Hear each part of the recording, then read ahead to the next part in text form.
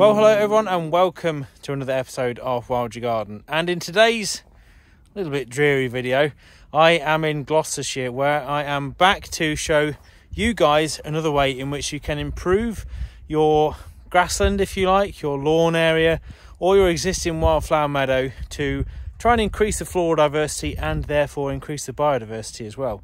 So stick around as I show you now exactly how I'm going to achieve this on this wildflower meadow that I created a few years ago now, which is oh, it's cracking ground down here. It's absolutely a horticulturalist nightmare. It's um, almost solid limestone when you get down just a few inches and it's absolutely horrific if you want to grow any vegetables or anything like that but it is wonderful if you want to grow some wildflowers. So let's go and have a look at the site and see what we can find.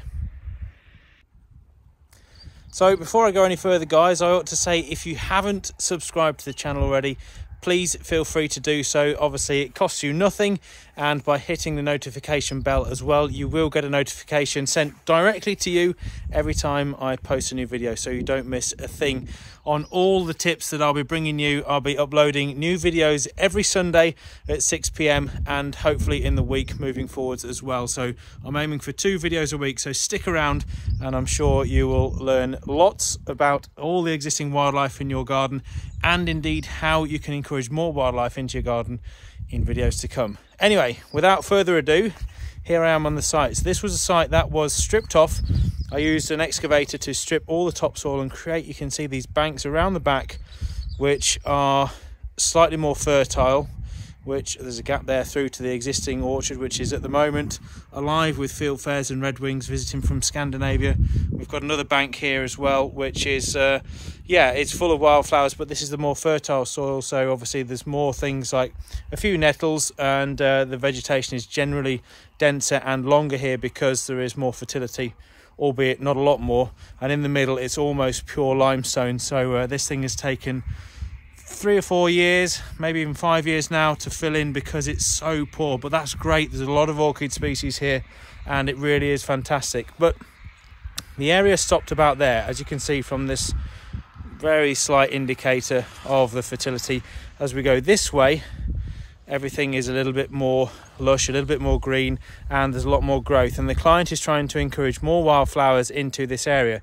So the way we're going to do this is by introducing seed. Now, for there's all sorts of ways you can include um, improve a meadow, improve your grassland in your existing garden. But on this one, we're going to add seed. I've already done a previous video on how you can plant plants into your lawn, which if you've not got a huge area is quite a cost-effective way and almost a surefire way of getting more wildflowers established in your grass because it is tricky to establish new wildflowers in existing grass sward because the, those grasses and those plants have already got their roots established. So when you're sowing this area, usually in autumn, the seeds are trying to germinate amongst existing grasses and get their roots down into an already rooty soil structure. So it's a little bit more tricky from seed, but hopefully by achieving, well, by adding seed to this area, we can increase the diversity.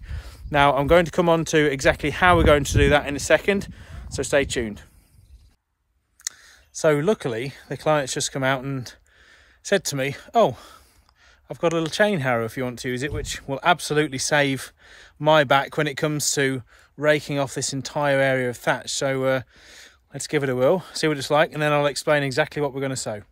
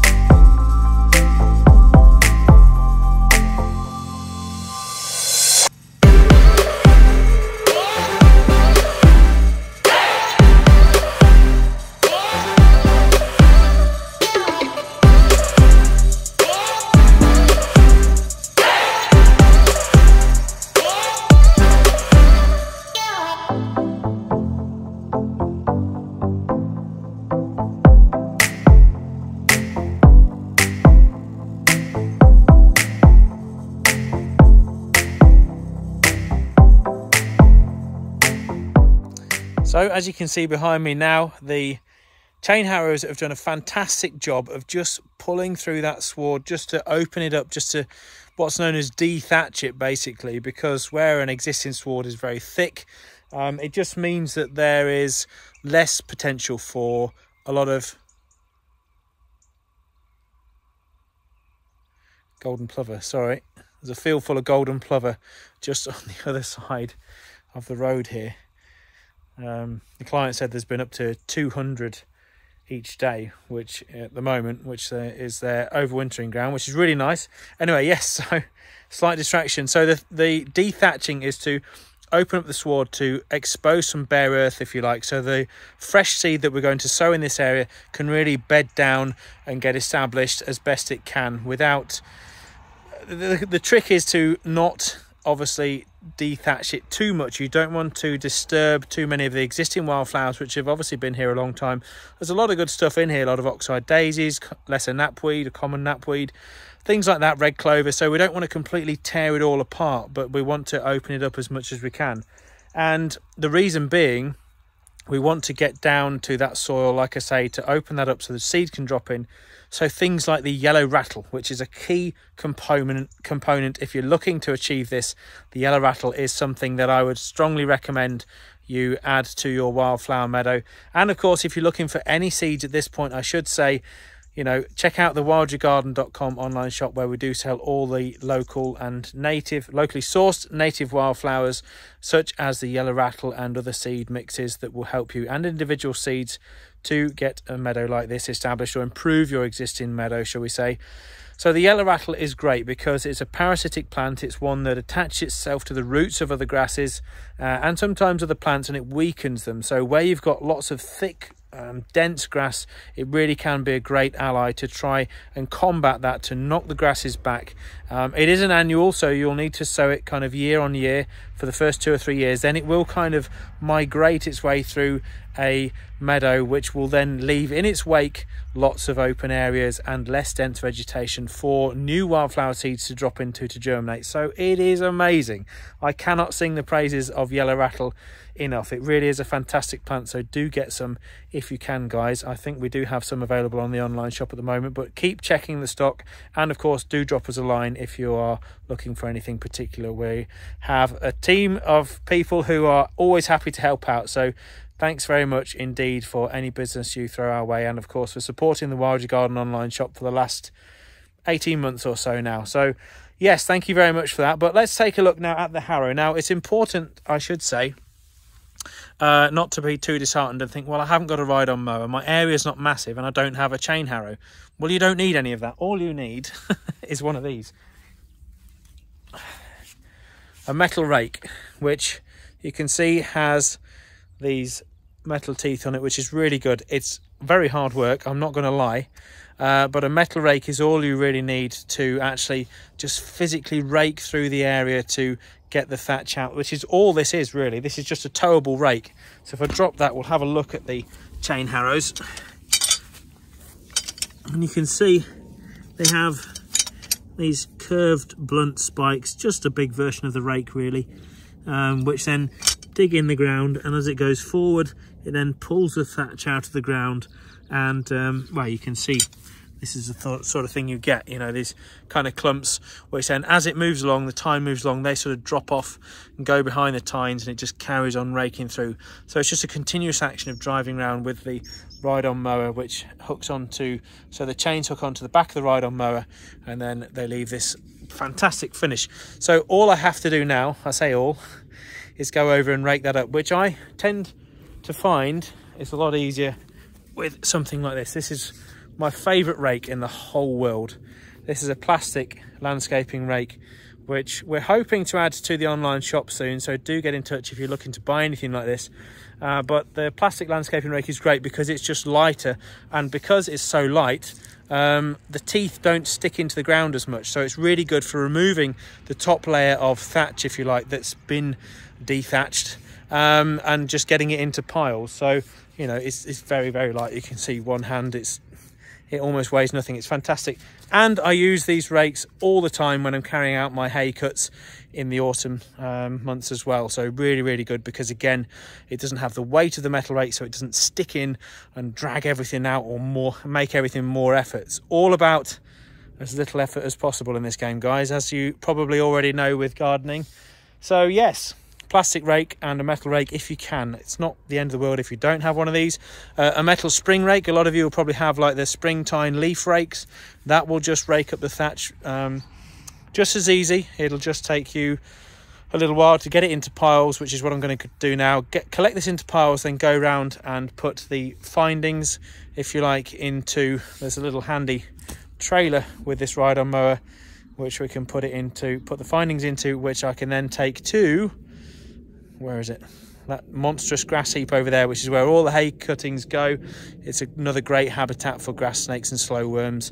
Um, so yeah, another good addition to the site. So I'm going to get on now, rake this whole area up, stick around, and then we'll have a look at what we're going to sow in terms of the wildflowers.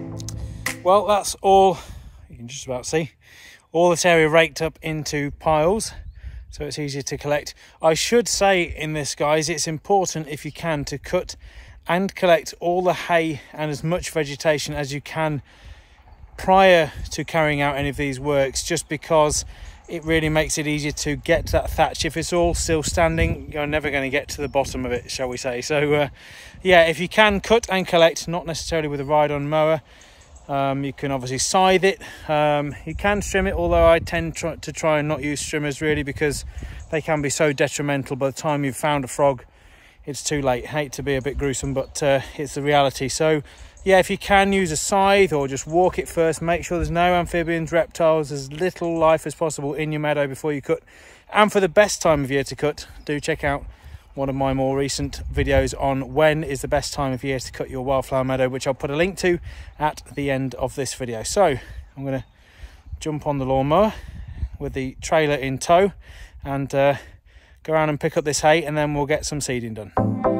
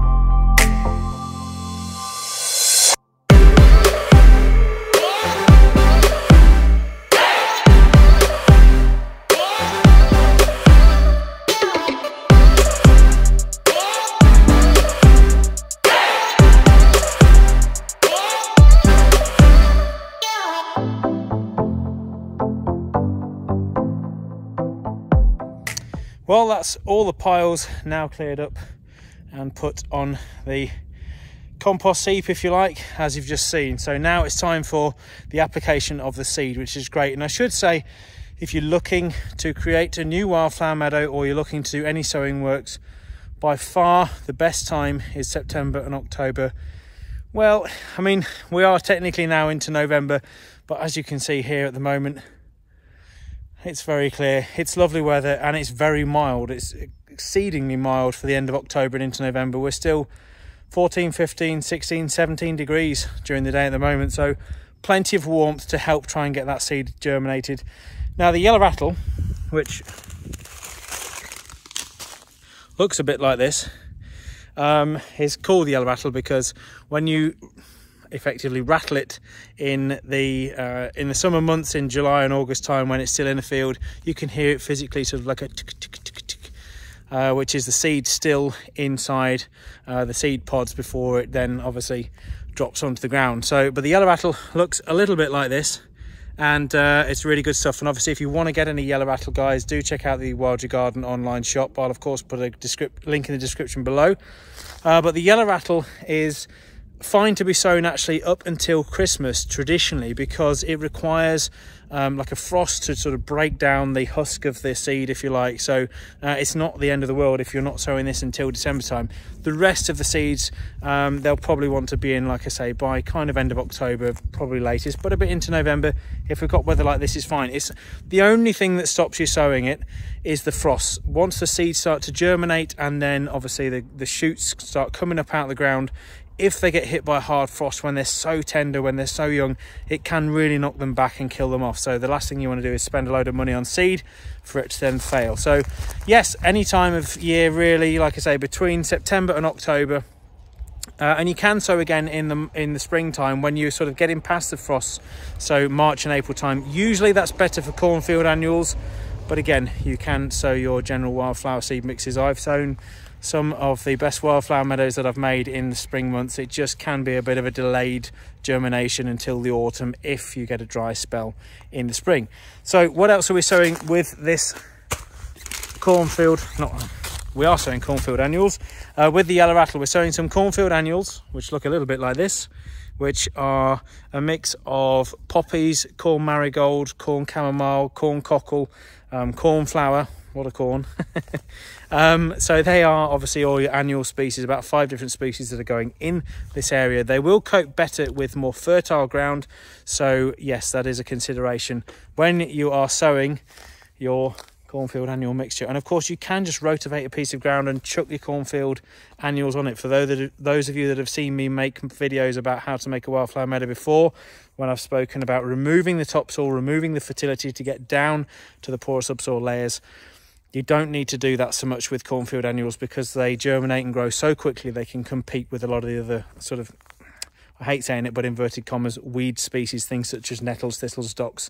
Um, but they are annuals, so you will need to seed year on year if you want them to proliferate. Again, available on the online shop, and that is your cornfield annuals. We've also then got a few seeds that I'm going to chuck in, which are um, a bit of a mixture to try and increase the floral diversity here. So we've got things like the clustered bellflower here, which is just a small amount, but will go a long way. There's a lot of seeds in there. And we've also got um, some kidney vetch, Viper's bugloss, and what are we there? Hang on. Wild basil. So these are all kind of chalk limestone specialists. They do really well on poor stony ground. So some more species that we're hoping to encourage into this area. So I've got my trusty even spread seeder, which I'm going to apply the seed with. Of course, you can do it by hand. And if you've got a big area to cover and only a small amount of seed, the last thing you want to do is get your seed and go, oh, that's that then. Um, so the best thing you can do is mix your seed in with some sand, um, some sharp sand. Building sand tends to sort of clump together too much, but building sand is very good for that um, because sorry sharp sand because it's more gritty. And that way you can see where you've been. And it's just a kind of a, a loose shaking of the hand just to apply the seed you know as you would expect people to sort of you know sow seeds. Whenever you see a documentary of people doing it back in the olden days before we had tractors. Um, so yes the application is quite simple. Um, and as I say add some sand to that. So let's get this seed in the seeder and get it sown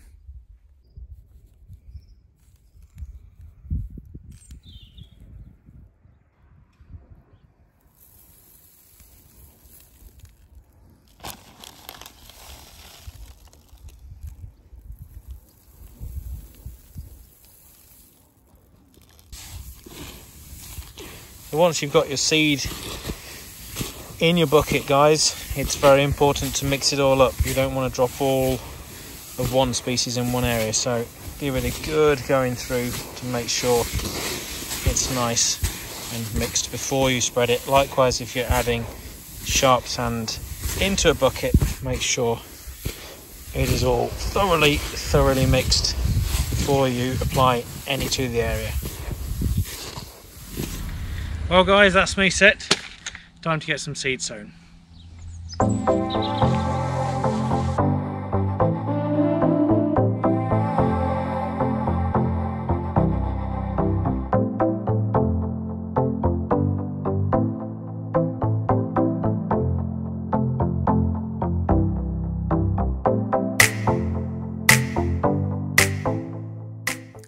Well, that's that. Hopefully, this area will soon start germinating and we can expect some good results next year. For a sowing rate, I should say you should aim for two to four grams a square metre, depending on the sort of coverage that you want, depending on how much density you want. Um, and obviously, expect there's going to be some casualties, if you like. Not everything will germinate because it's growing in an existing sward. So, fingers crossed, it all works out for you. Any questions, drop them in the comments below. Obviously, um, if you're looking for any products, check out the Wild Your Garden online shop, as I say, and do check out the previous videos on the channel if you are interested in how to make a wildflower meadow. I'll put a link to that one at the end of this one. And of course, all the ways you can help wildlife in your own garden. Stick around, lots more to come. Thanks for watching, guys. I'll see you soon.